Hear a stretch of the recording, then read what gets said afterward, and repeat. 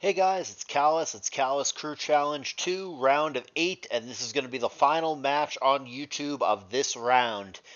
It is the David versus Goliath match of the round, or in this case, Danielle versus Goliath. Crying is a lady, I am told. And quite the task in front of her here. Conflict has been playing GSC for over a decade. It's his main. He's one of the most successful SPL GSC players.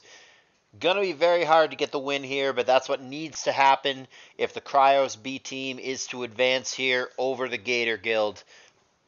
We saw Ima take out Vileman in RBY, which was not the outcome that a lot of you guys expected. Crystal took out X-Ray in a tight DPP set. Both of those sets are on YouTube if you want to go back and check them out if you haven't already. And that leads us here. The other opponent in the semifinals in their side of the bracket has been decided for a day or two now. It's going to be Quint and Company against whoever wins here. Just got to figure out is it Cryos B team or is it Gator Guild? This GSC best of three will determine that. Here is the game. Game one of a best of three. Crying's on the bottom, Conflict's on the top. They both have a lax, and they both stay in. Double edge for both. Pretty standard stuff on turn one. Double edge again, playing it aggressive. Man, uh, this this could go poorly here. Speed tie, very important. And ooh, crying gonna risk it there. Imagine if conflict had stayed in and gone for DE and won the speed tie, but works out just fine. Uh, toxic landing on Lax there doesn't matter. It's clearly going to rest, but the key thing is that Spikes got down, and now Crying is going to get hers down as well. So Spikes for both players as Golem comes in and threatens to spin them away. But Ghost comes in immediately for conflict before Golem can even attempt it. And they're going to trade Toxic and EQ respectively, which is probably a better trade for conflict, but the damage on Missy could potentially matter. EQ they're trying to kill Missy is going to find Cloyster instead. And there's a guard just in case that goes for rapid spin, which it does. So they have both brought spin protection in the form of a ghost. Different ghosts, though. Misdreavus and Gengar function quite differently in this gen. Sue, Starmie comes in. And again, it is a blocked rapid spin attempt as Crying doubles back to Gar. Protect and Hidden Power. Don't know what Hidden Power it is. Here comes Lax coming in on the spike. And a nice Punch for just 14%. Not a problem. Lax doing fine. Zapdos comes in. Sleep Talk Rest. And now Thunder going to connect. 31% is an okay chunk. Sleep Talk finds Earthquake there, which is certainly good information for Crying to be aware of. Golem and Gar both don't want to be on the bad end of that. So what is the set? Double Edge, Sleep Talk EQ, and Rest. Fair enough. Stally team for conflict as we see Blissey make an appearance here. Exclusively a Stallmon. And Heal Bell is going to remove lots of those problems. Scarm comes in, so yep, good old good old Scarm Bliss, Spikes and Ghost. Same strategy that is very good at the core of Gen 3. Obviously, looks a little different here, but the base concept best special wall, best physical wall, spiker, and something to protect the spikes. The base concept is the same. There is the Surf coming down and a T-Bolt, which is obviously going to be able to pop the sub. And T-Bolt unlocks a lot less exciting, just 11%. Uh, from Crying's Lax, we've only seen Double Legend Rest. Hey, maybe she's got the same set as Conflict. Yet to be determined. But Blissey's going to wall that Zapdos over and over, and you could just tell looking at the teams that this one... Uh, grab a drink, boys and gals. We are... Uh, we're probably going long. We're probably in for a longer one here.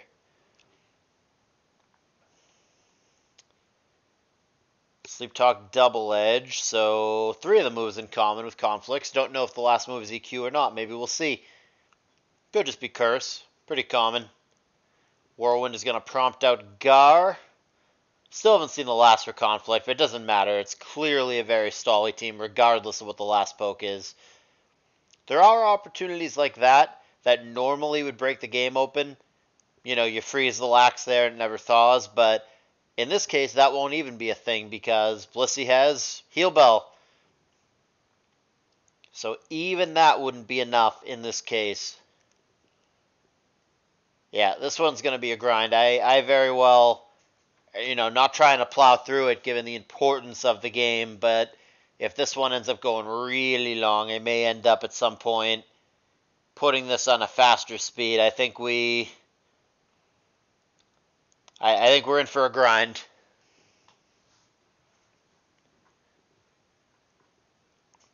Rest coming down. And rest again. EQ, nope. And Thunder. Yeah, I think it's going to be hard to to kill anything really. Uh, it looks like two teams that wall each other pretty well, and stuff like Machamp, stuff like Jynx, those kind of breakers, stuff like Nidoking, T-Tar, just really aggressive mixed breakers. Not seeing him here. Nightmare, I mean, cute tech back in the day, but well known about now, and is just going to prompt a switch. Is not going to be the be all end all here. Wakey Wakey Double Edge. There are opportunities for conflict here. A critical hit, for example, in any of these double edge turns, killing the Starmie would certainly speed things up in conflict's direction. This particular set could be problematic because normally normally Gengar Golem can handle Lax reasonably well, but I guess the one of the structural problems of having those together is the residual or sorry, the overlapping, the redundant earthquake weakness. I said residual, I meant redundant, but they're both EQ weak. Uh, so when you happen to have this set of lax, two pokes that normally would be okay against lax are both actually bad against it. And I guess that makes it awkward. I guess ultimately Crying does not have a fantastic switch into this specific set of Lax that Conflict has. Uh, anything, any of the ones that don't care about Earthquake are vulnerable to Double Edge and vice versa. So with a crit, uh, with the right move on the right Mon, Conflict does threaten at any time to pop somebody so that's probably one of the bigger advantages. And like I said, the other problem, and we now do finally know the fi- the full set for Crying's Lax, having shown Flamethrower there. But the other problem, like I said, is that if Crying does, like let's say she got a burn there, or she does Ice Punch and you know freeze the Zapdos, freeze the Lax, whatever, it's not going to be that impactful because of Heal Bell, which Conflict is going to not just you know pop meaninglessly to wake one thing up from rest or whatever. He's going to save it for when he gets value or for when it matters. Now, if you freeze the Blissey, that's different, obviously, because it doesn't have natural cure and it can't heal by itself while it's frozen. So maybe that's the way out for crying. Maybe you freeze the Bliss itself rather than one of the other pokes. But yeah, this really this has potential to really be a, a lengthier game. Crying there avoided getting its lax, her lax pain split, and ended up being a split with Zapdos instead, which still gained the Missy some HP, but not a ton. Back to Missy here for conflict, and Crying's going to kill a sleep turn. Just going to go back to Zap here, and it's going to be another pain split, so Missy back up to almost full health. And as we know, Blissey, not to be confused with Missy, uh, is going to wall this Zapdos for days and days and days. Laxarino and Thunderbolt. Here comes Miss. And Zapdos. They're going to split their pain. There's Bliss. Yeah. I think we might be going long. I think I might think I might make the executive decision. Hyper fast might be a stretch, but let's uh we've been narrating on normal up to this point. Let's go ahead and at least move it to fast and see see if we get anywhere cuz this one is really looking like a grind. The fact that there's multiple pokes for conflict that have Thunderbolt and they happen to be against Starmie here is I, I don't know if that's by design or just a nice coincidence for conflict, but certainly makes it more difficult for crying and makes the makes the Starmie not as effective as it otherwise could be. Thunderbolt for both Blissey and Missy uh, and Zapdos. So a lot of T-bolts on the other side. Starmie really and truly not all that exciting in this matchup. It is quite walled and quite threatened, as it turns out. So yeah, I think this is gonna take a, a hot minute, but all things considered, uh, looking at the team configurations, looking at the sets for everybody, you know, looking at the specific dynamic of you know what are the outs here, what could either player fish for. I think that conflict is likely going to win this first game.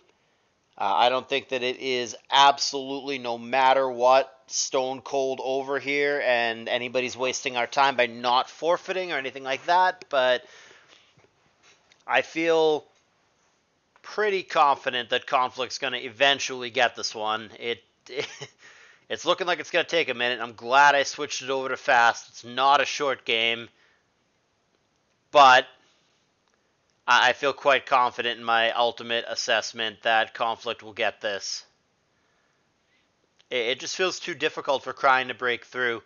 Uh, we've been watching for the past, however, you know, 70 something turns where Crying really hasn't been able to get any meaningful offense going at all.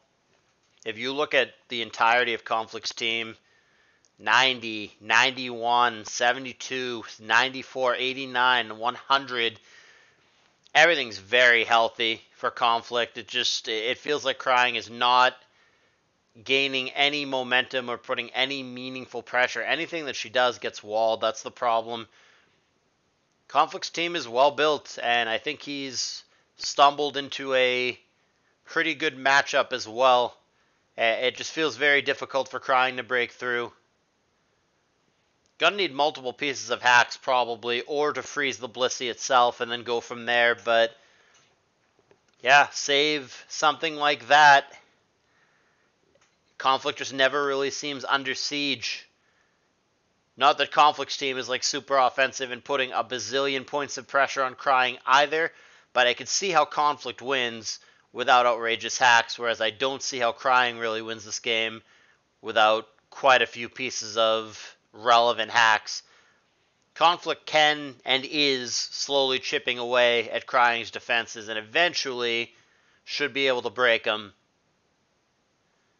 maybe if the boom there had connected with the lax, but conflict is never going to allow that to happen. The boom happens on Scarm, and that is the first knockout over 100 turns into it. Yeah, I mean, I guess you can always play for a throw by your opponent, right? Had conflict allowed the lax to die there, or, I mean, heaven forbid, let the Blissey take it there. Eh, maybe crying has a path, but with it just connecting with the Scarm that we know has rest, so that boom damage is going to be completely negated at some point down the line. Meh.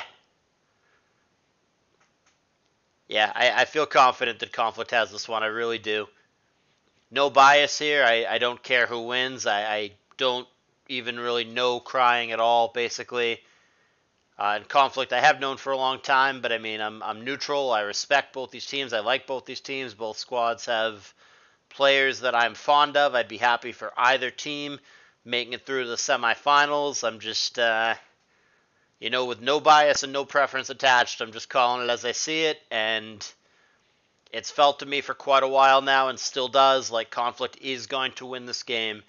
And I certainly always have respect for players doing what Crying's doing, playing it out, and not giving it up until you are absolutely dead. If there's a small chance, if you are. I mean, I don't like when players waste other people's time, but if there's a small chance to win, if you need to get there, if it requires specific hacks, of course you play for it. Of course you do. Don't give up. Don't be a wimp. Play it out. But yeah, the dominoes were starting to come down finally at the end. It didn't take as long as I thought it might. It was still not a quick game at 125 turns. But the outcome in that one really didn't feel too, too in doubt. It is going to be a conflict victory here, pretty convincingly. This very well may have been a 6 0 had it played out. And that's going to be one game away from the top four for the Gator Guild. Crying is going to have to rattle off two in a row against Conflict in order to send the Cryos B team an underdog squad on paper into the top four. Here's the second game. I won't give you guys this feel again. I already gave you the gist, but like I said, right now, poof, like button. Appreciate it, done and done. Here we go, game two. Crying's on the bottom, Conflicts on the top, Standard leads, Zapdos and Lax. Good turn one for Crying with an immediate Thunder crit. Double Edge comes back, Thunder again. And it's going to miss, but it wouldn't have mattered there unless a crit again or it parried full parried. Any other circumstance, the Lex, the Lex, the rest from the Lax, I combine the words, would have happened there, and it would all be for naught. Sleep Talk Surf for conflict. We saw that earlier in the ABR set, and Cloyster does manage to establish a spike for crying. She's going to keep her Cloyster in, go for Surf. Double Edge going to come down here. And there's a boom. That's got to be a good trade. Trading one for one, anything with lax has to favor the player that doesn't lose their lax. Good turn for crying. Not only does she have the spike up, but she also manages to trade a good poke for sure, a damn good poke, but for the best poke. So good start for crying in this one. Quagsire coming for conflict. It learns belly drum in this generation. See if conflict's trying to get that going. Exeggutor threatening a 4x weak Giga Drain. It's not a bluff. That is exactly what it goes for. Is going to, of course, prompt the Quagsire out. And now T-Tar is going to come in. Double Electric Squad for crying. No spinners shown yet for conflict. Certainly doesn't mean he doesn't have one. There's EQ connecting with Raikou. And now Golem comes in, which is interesting because EQ is the most probable move. So it comes into a super effective 45% or 46% rather EQ. Failed protect, more switching for crying, more protecting for conflict, but he's a-okay with that. He's just leftying up. Here comes Fori. That comes in on EQ. Very well may have rapid spin or Giga Drain here, but the standard play would just be to click spikes. Gonna go for rapid spin though. Value's getting rid of the spike at this moment more than establishing his own spike.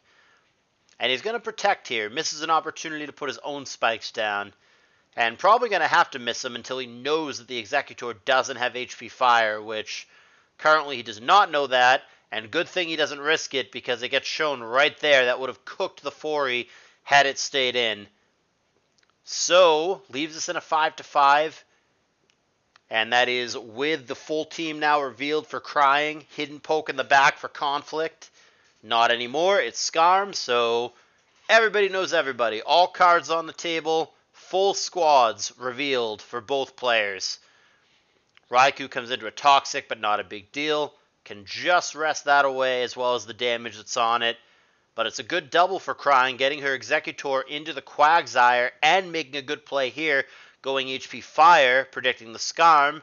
Now Toxic comes down, and a troll damage roll there. Did 52% last time, but just 45 that time with a slightly better roll. Crying would have picked off Skarmory there, so good sequencing, not rewarded for her good play, but I definitely like what I see in the past couple turns from Crying. Putting up a good fight in this one, without a doubt, though she is going to play the rest of the game without the spike down ever since that rapid spin got down. Remember, she did blow up her Cloyster trade with the Lax, which was definitely good, but Not going to have the spike for the rest of the game now that it's been spun away. This one's close, and in theory, this one shouldn't be as long as the previous. Crying going to curse up with her lax as Fori comes in. Fori's got to be careful to not let it curse up too many times. EQ for immediate pressure. And here's Scarm, which is generally a pretty good counter, but it is asleep. Double edge. Hey, there, there's a crit. Very relevant crit. In fact, Conflict now may be in some danger. Has to go back to Fori here. And there's the obligatory double edge, but both steels for Conflict pretty low in the red. Rapid spin and double edge. Conflict loses Fori and Crying takes the lead. Quagsire now gonna be the answer. Will it begin to belly drum here? Might have to. Toxic there, whiffing.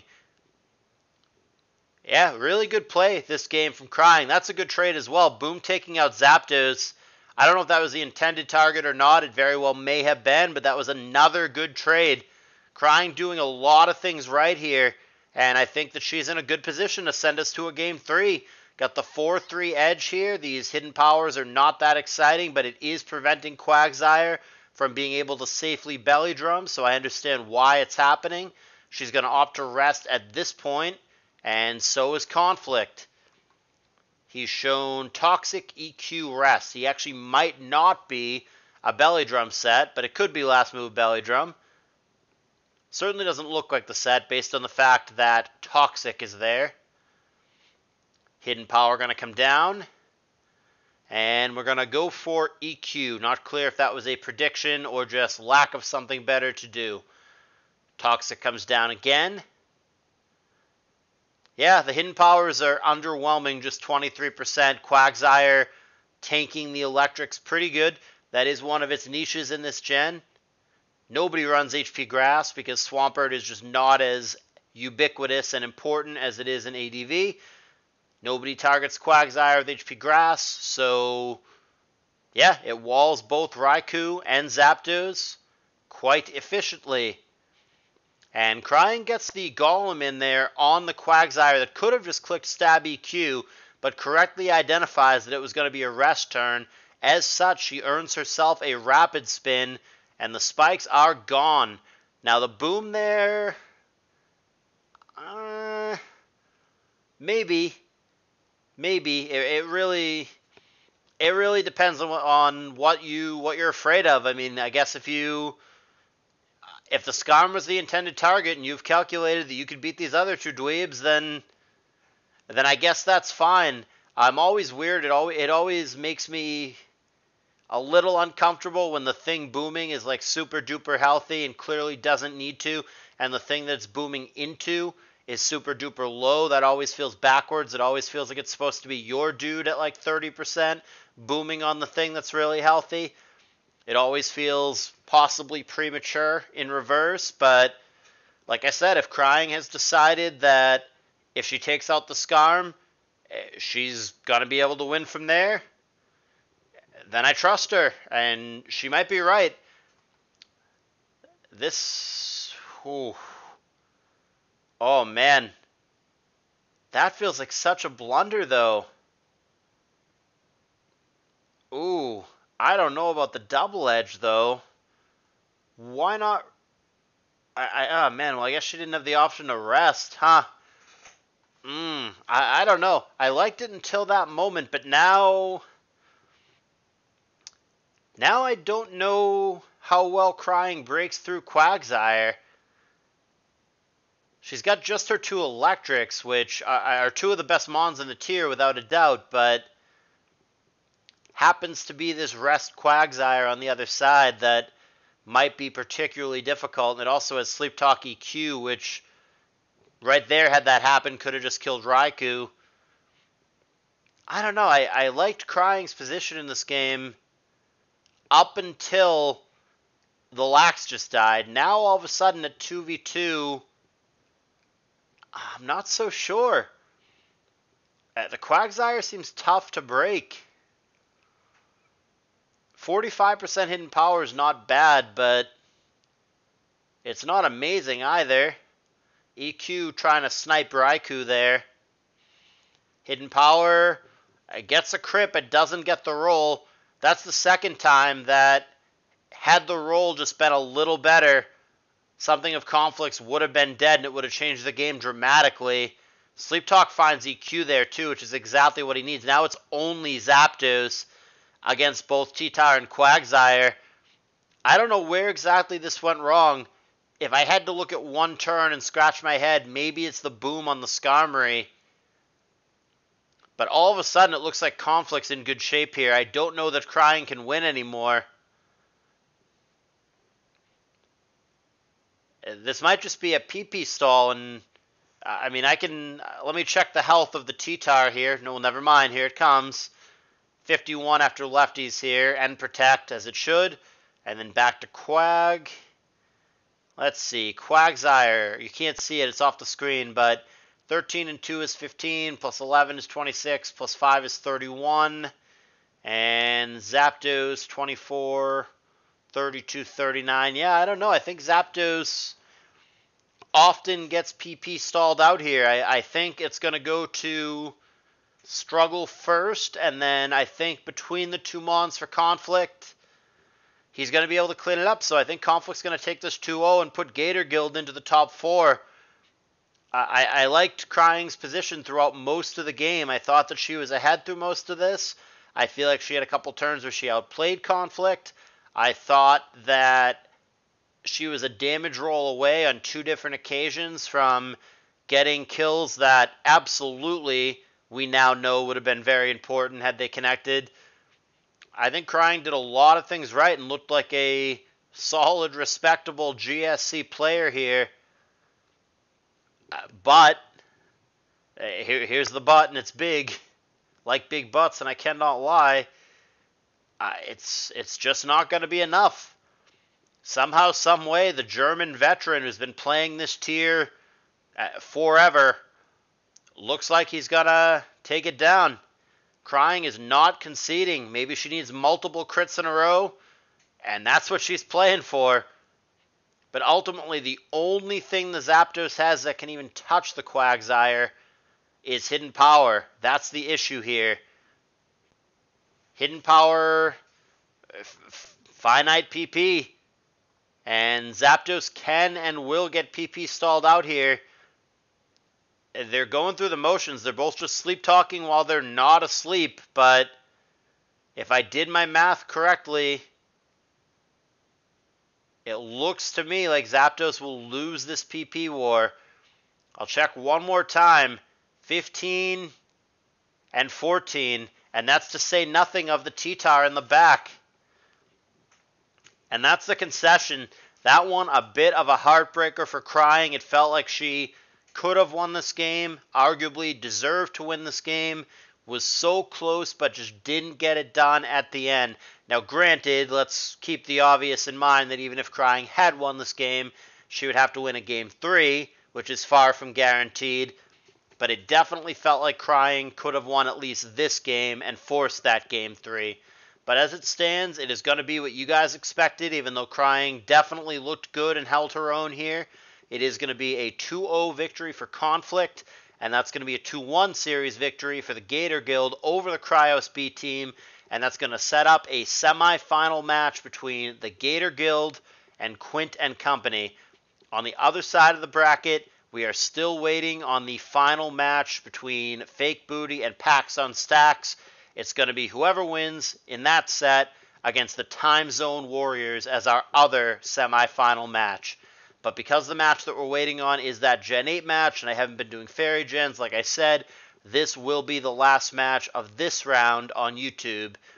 So, for all intents and purposes, I will see you guys in the semifinals. But I remind you one final time please consider donating to the tour. If I have provided you guys with $5, $10 worth of entertainment throughout this whole damn tour, please consider showing me that by donating. It's not for my benefit, it's for the players. I'm not keeping the money.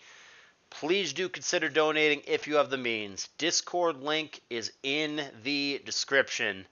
I appreciate you guys watching. I really do. I have a small audience, but I have a really cool, really appreciative audience, and I do this all for you. I will see you guys in the semifinals.